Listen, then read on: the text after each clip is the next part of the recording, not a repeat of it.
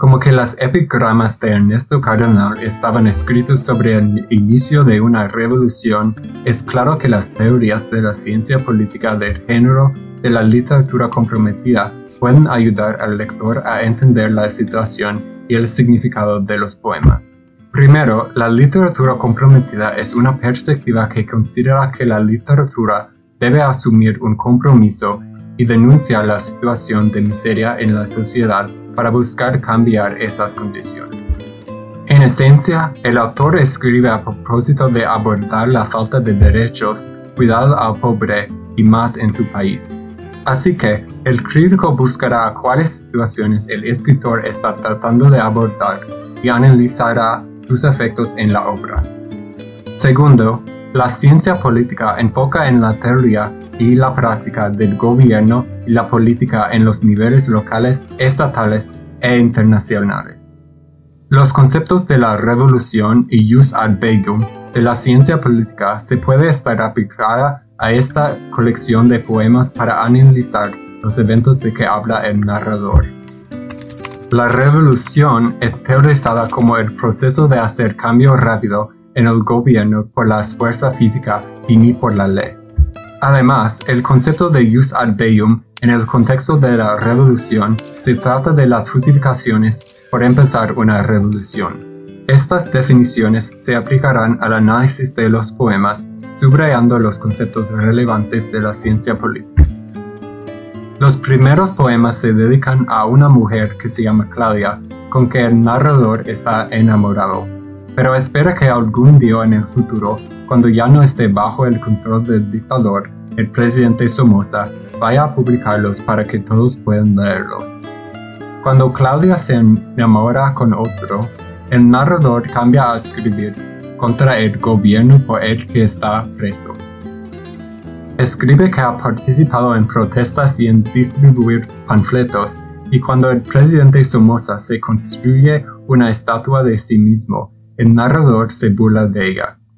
Termina con dos poemas que abordan el amor de nuevo, uno que parece ser dirigido a Claudia y otro a todas las mujeres que lean el poema, comentando en cuán vano era escribirlos a ella. Cardenal fue una figura importante en el movimiento contra el gobierno nicaragüense durante la revolución. Sus poemas demuestran su punto de vista sobre el presidente Somoza, que Cardenal considera dictador. El narrador de la colección de los poemas es una representación literaria de las creencias y causas que Cardenal apoyó en su vida real. Su pasión para hablar contra la opresión se ve directamente cuando el narrador gritó Viva la libertad en las calles. Esto es una protesta clamorosa y explícita que aborda los problemas que existen en la realidad, no solo en la fantasía. Así que Cardenal no piensa que sus poemas solo son poemas de amor, sino también poemas por el propósito de activismo político. Con estas palabras, Cardenal demuestra su jus ad bellum del movimiento. La justificación para luchar contra el gobierno es que un gobierno no le permite al pueblo su propia libertad. Estos poemas, las epigramas, representan la evolución del amor y de las pasiones de Cardenal. Al inicio se enfoque en una persona, una mujer, con la que la relación no termina bien.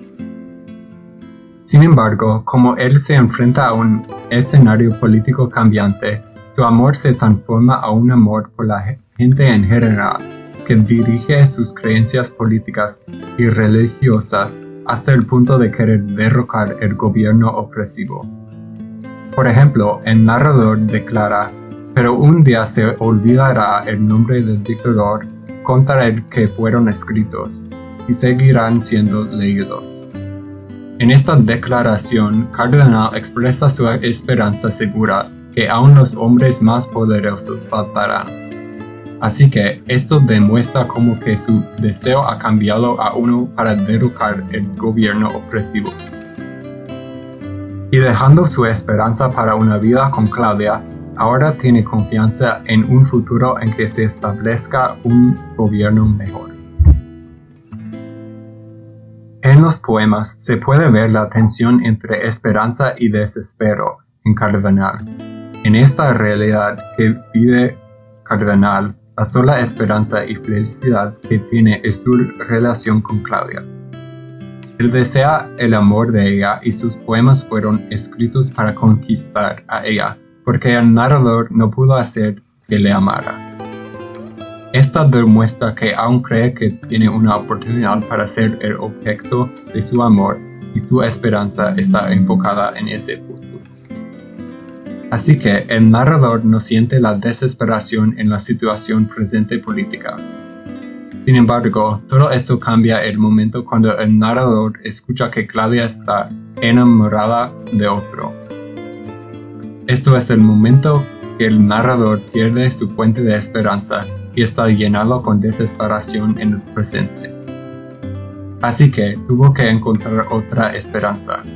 Entonces el narrador acude al activismo político y escribió ese artículo contra el gobierno.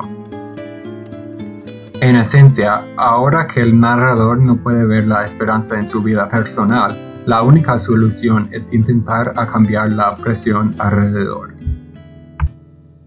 En la obra, Cardenal juega con el equilibrio de poder por medio de sus palabras, demostrando su valentía ante los guardias y contra el dictador, aun si no la tenía con Claudia.